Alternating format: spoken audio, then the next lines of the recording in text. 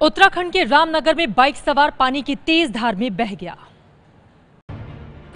बरसाती नाले का पानी सड़क पर आया और इसे पार करने की कोशिश में बाइक सहित युवक बह गया। पिंक शर्ट वाला युवक बचाने की कोशिश भी करता है, लेकिन पानी की रफ्तार ऐसी है कि वो नाकाम हो जाता है।